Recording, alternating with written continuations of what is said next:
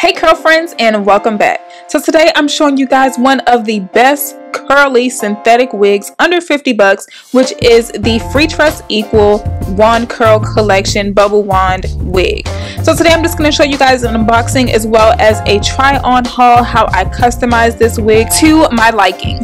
Now this wig is constructed with a deep L shape parting. So it's pretty much like a right side parting.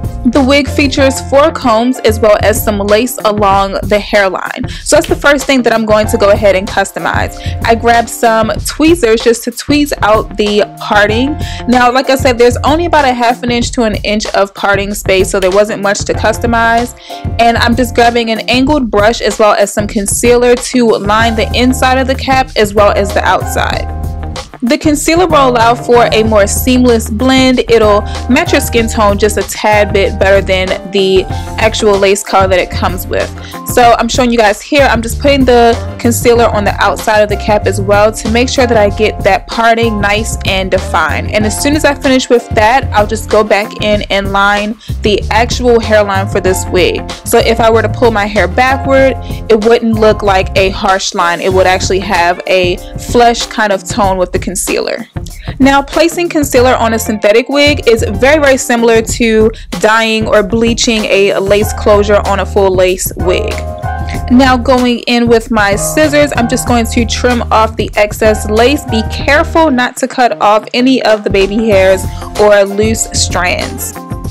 So our customization is pretty much complete. You can take off the tags, pop the wig back on and make sure that everything is looking really nice for you to pop this wig back onto your head. And I just went back in to make sure that I had enough concealer on the actual parting space. Now I braided my hair in a braid pattern that features a side parting so that the lace closure can lay really really flat.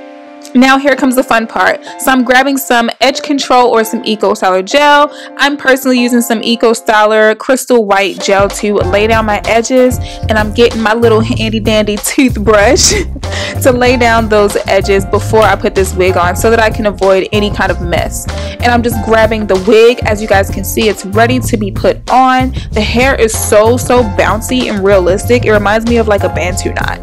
So I'm just grabbing the hair and I'm just going to put it on my head put the parting right where my natural hair is parted and I'm just going to stick the ends of my cornrows underneath the cap.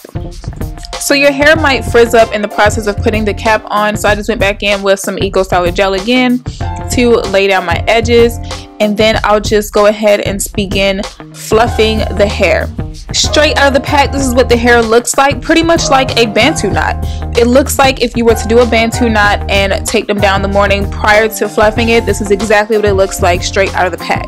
So I'm just going to make it look a little bit more realistic. I want some more volume some more frizz so that it looks like my natural hair in a bantu knot out and I'm just pretty much separating the hair where it naturally is going to separate.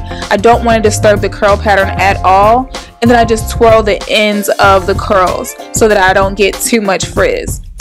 Go back in with some concealer to make sure that everything's blending really really well and I'm just going to run my hands through the roots of the wig to make it just a little bit more fluffier and big. Now for me personally, when it comes to synthetic curly wigs, I like to let it swell over time and just get frizzy and bigger over time. So this is pretty much how I'm going to leave it. I separated all the curls. I'm not going to go too much more further, but here are my final results. I hope you guys enjoyed this. I love you guys and I'll see you guys in the next video.